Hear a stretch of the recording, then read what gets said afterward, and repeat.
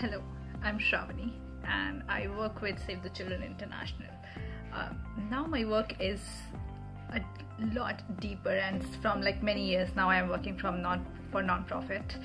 Um, but when I started volunteering for CRY, that was back in 2014 I guess and for next few years I was a full-time volunteer on ground working with children working in community and it gave me that window to be able to do something irrespective of my work to be able to give back to contribute. And for me uh, for someone who wanted to work with children who want always wanted to be in non-profit it was a window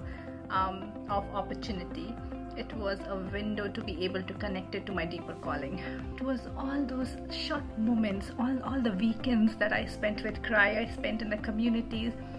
that helped me to anchor my change from a corporate to a non-profit sector. I worked on ground i worked with the grassroots organizations for a lot of years after that. And i don't think it would have been that easy transition for me if it wasn't for CRY so I would say that volunteering is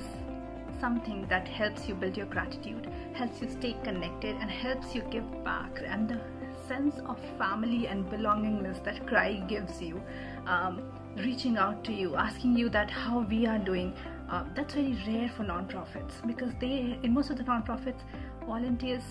are seen as somebody who come and contribute, but CRY is one place that see you as somebody